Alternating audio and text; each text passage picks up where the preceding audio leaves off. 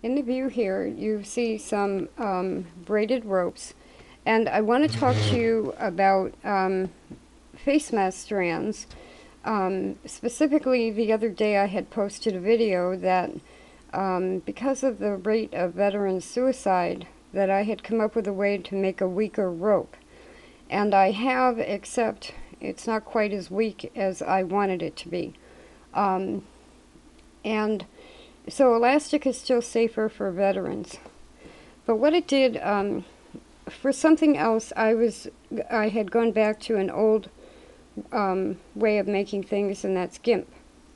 And I'm going to put a video link um, in the information section that will give you a very good video on how to do the box stitch um, with GIMP.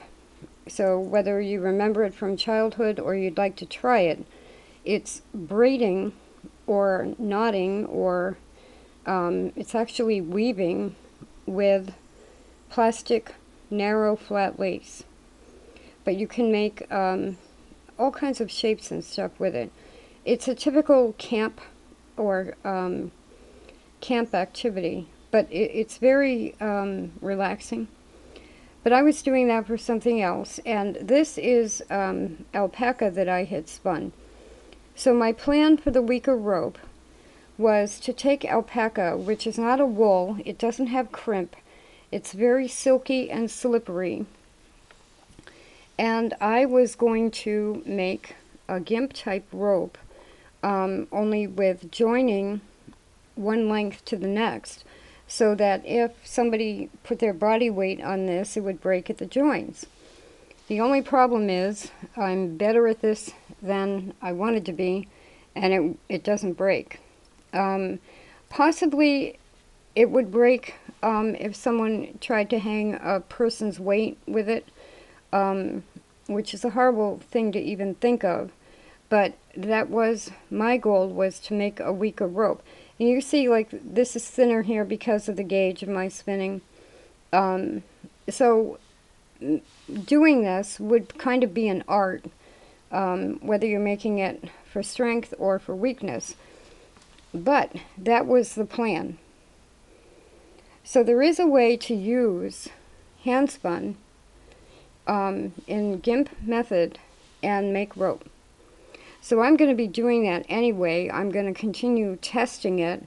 When I tried to break this, this is about um, 18 inches long, and I pulled on it to try and break it, and I actually um, have it on a keychain just so somewhere to put it. And um, the jump ring opened up and popped off the strand before the rope break. So, and it didn't break at all. Now, um, so these little threads sticking out are um, at the places where I joined it. Now, another thing you'll run into if you do that, this particular spinning, see how the yarn had gotten very weak? And I knew if I pulled on it, the whole strand was going to break. So instead, I folded it over on itself and worked it into the stitch, and now that can just be trimmed off. Now the beauty of wool rope is you can throw it in the washer and it'll shrink and um, get tighter. Alpaca won't do that. That's why my weaker rope was with alpaca. So this is kind of still on the drawing board. Um, if you make any rope out of plastic, it's not going to fall apart. But it's difficult with all of these to work with long um, strands because you have them flipping around all over the place. It's not difficult, but it's you need some space to do it. But check out the GIMP video because there, this is a six strand. Um, today I had the first blossom on the pumpkin plants.